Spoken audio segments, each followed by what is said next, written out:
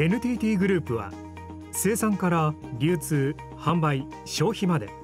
フードバリューチェーン全体の最適化に取り組んでいます。その中で農作物流通においてはアイオン関連技術を活用し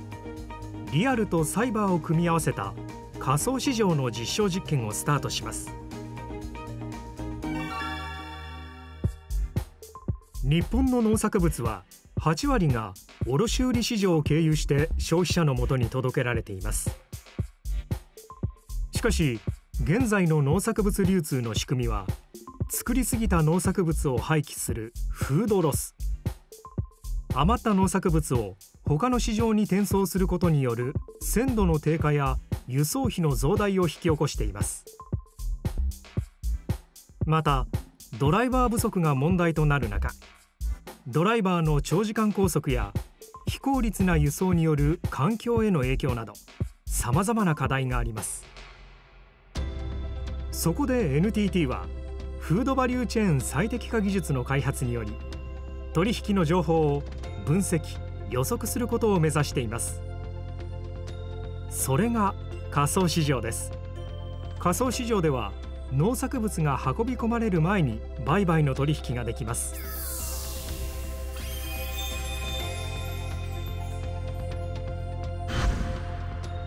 仮想市場が広がれば日本中に新鮮な野菜や果物を届けられるだけでなく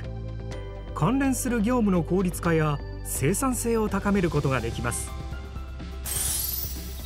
兵庫県にある TK ファーム。この農園では野菜や果物を育てています。この補助は農薬を使っておりません。でその代わりまあ手間がかかってしまったりということがあります。現状ですとそのお客様に届くまでに市場であったり経由して時間がどうしてもかかってしまうんです。せっかくその商品がですねダメになってしまうということがあります。それがもう最終のお客様が事前に分かればダイレクトに物がお届けできるようになるんでよりその品質を保つこともできるかなこのように市場を経由せず直接購入者に鮮度の高い農作物を輸送できれば輸送費の削減にもつながります。仮想市場には過去の売上データが蓄積され販売側の需要データも集まります。生産者はそれらの情報をもとにあらかじめニーズを予測し生産計画を立てるマーケットイン型の農業ができるようになります。売れ残った作物を廃棄するリスクも減りフードロス削減につながります。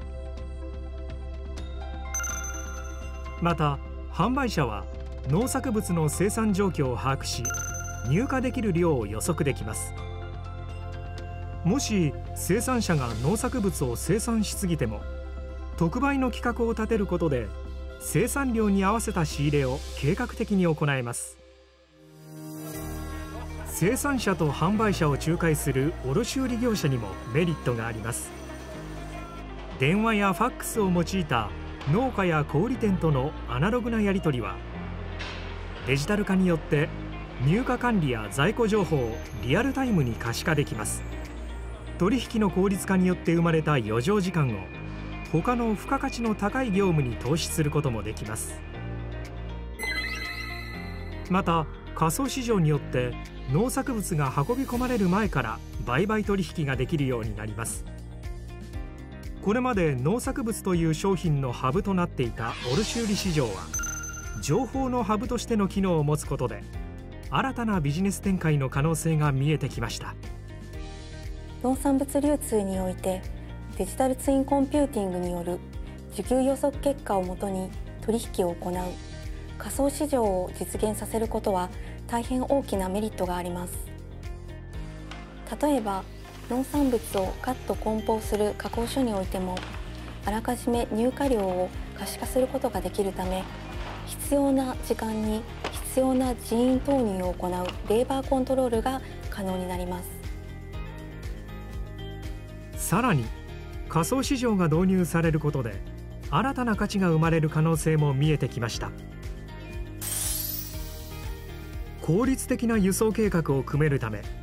ドライバーの稼働を減らすことができます。結果的にトラックの排気ガスを削減しカーボンニュートラルの実現にも貢献できるでしょう。付加価値の高い農作物を取引する場合 EC サイトやライブコマースを活用したネット販売など生産者と消費者を直接結びつける販売ルートも開拓できます。コロナ禍で需要が高まりつつある食材宅配サービスとの連携や D ポイントを活用したビジネス拡大につなげることも可能ですフードバリューチェーン最適化の実現に取り組む NTT グループ新鮮な野菜や果物を日本全国に届けるとともに社会的課題の解決を目指し挑戦を続けます。